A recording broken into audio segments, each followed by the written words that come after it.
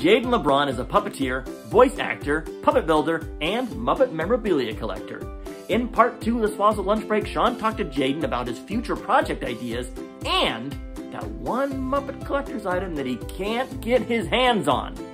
Also, Sean started the conversation off asking Jayden, what's the difference between bringing the character to life on set with a puppet as opposed to bringing the character to life in the voiceover booth?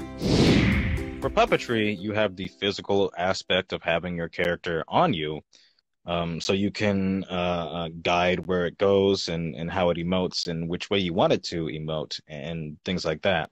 Uh, with animation, you have no control of that whatsoever. It's just your voice, which is 10% of the overall uh, um, uh, product. Uh, and so you kind of have to, whereas with if you're on a set and they say, all right, you got to run towards the door, then you have to physically run towards the door and, mm-hmm. and emote like and have the motions of the character running as fast or as slow as you want.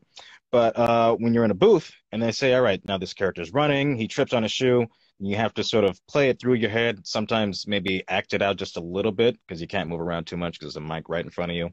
Uh, sure. And um, so it's like, all right, so I'm running. All right, all right, we need it faster.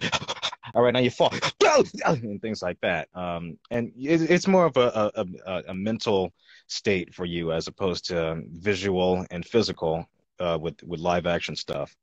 Right. So it's like both both requires your own kind of imagination. Yes. one requires a separate, a whole other level of like, okay, now I can't, I don't even have the physicality. I need to just mm-hmm. sort of imagine that physicality, present that through through my voice. Yes, and uh, because uh, animation, you know, of course, takes so long to do, uh, you can only have so much of an idea of how the scene is going to play out. And uh, usually, when you when you're in the booth uh, and they say all these things are going on at once, uh, you imagine it one way, and then it turns out a, a completely different way. Mm-hmm. so you have to keep in mind uh, the different levels of emotion that you're going to put into that scene. usually, they do it three takes, so they want you to run uh, they want you to run scary. they want you to run slower. And they want you to fight.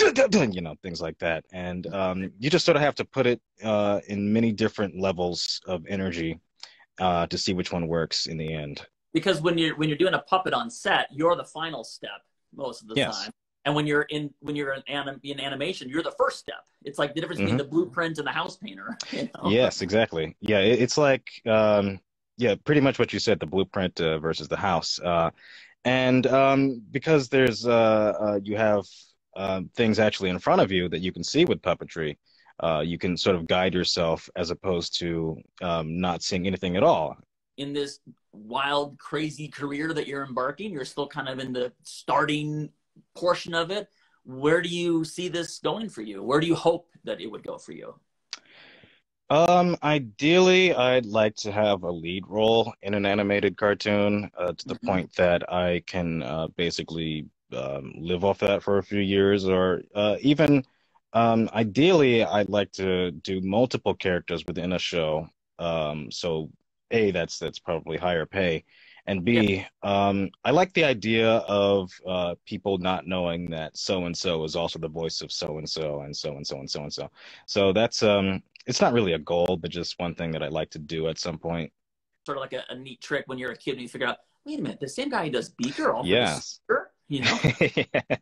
yeah. Uh, and as far as things I'm uh, I'm working on, I have voiceover work, but like it's like in preliminary stages that I can't really talk about because we haven't actually recorded anything yet, and I could sure. very well be dropped the next day.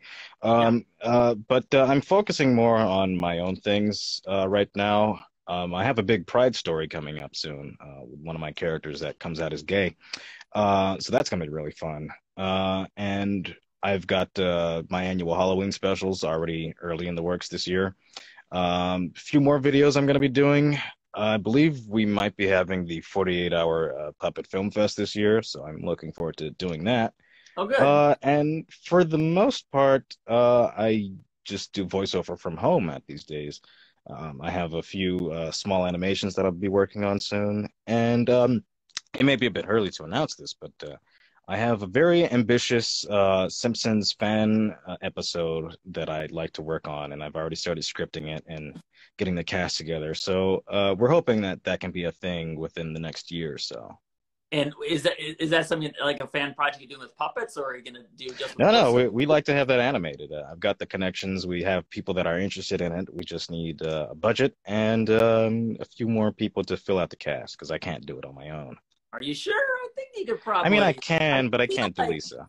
you, you can, do, can you do Bart? No, yeah, Bart and Lisa I can't do, but the rest of the town is is pretty much covered. So let's see, Doctor. You can do the Doctor. Oh doc- yes, well you must be talking about old Doctor Hibbert here. Did you find? Do you find that the those hooks? Because that's a Doctor. Like I said, you know, he's the guy who laughs. Like I feel like strong characters, like um, you know, they they kind of have a hook do you find that identifying those hooks is, is kind of essential? Uh yeah definitely. Um you know and um as far as hooks go there are certain things that one character would say that another wouldn't say and it's important to differentiate them uh, from one another. So you know you wouldn't hear mr burns laugh like you know he has his own style. Um and uh, uh, the speed of the voice is important because some characters talk faster, some characters talk lower than one another. But uh, as far as uh, their hook, uh, I think usually it plays into uh, what they do for a living. Uh, hmm. that's certainly one of the things that uh, that makes them talk the way that they do, uh, and the things that they like. So that's certainly one thing to keep in mind. How can people follow you? How can people keep up to date with what you're doing? What are your uh, my YouTube is the Sneople. That's S N E O P L E on YouTube. Uh, my second channel, which is uh, dedicated to voiceover stuff, is just my name, Jayden Libran. And I have the rare distinction of being the only person with that name. And uh, so it, it, shouldn't be that hard to look me up. You know, if you look up uh, Patrick or Sean Johnson, you'll see, you know, so many. What's your, so, what is your Instagram handle for people who want to keep up to date with? Uh, J dot L I B R A N 98. Awesome. Awesome. I have a I have a nerd Muppet question for you because I know that you're a What's collector. Up? Is what is like the one item?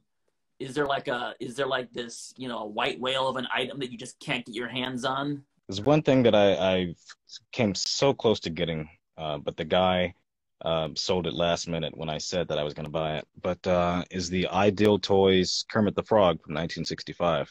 Um, if I could turn my camera there, you can see Ralph right there from the same set. Yeah. Uh, but I don't have Kermit. Uh, and I don't know if I'll ever have Kermit in a good condition. But uh, I have uh, uh, many things that are unique to my collection. Um, I have this uh, Thog here that I oh, commissioned. Wow. So I've got a Thog. I've got some prototypes of things that were not released coming in the mail soon, and a bunch of other things that are unique to my collection, and I'm happy about that. But uh, wow. once I can get my hands on that Kermit, then I'll be a happy camp- uh, camper, and I can just stop all this and die. But uh, wow. until then. so if anyone, if anyone uh, wants to really make Jayden's day, uh, yes, I will take that ideal Kermit and keep it forever. Thanks for watching. Please like and subscribe, and we'll see you next time on the Swazzle Lunch Break.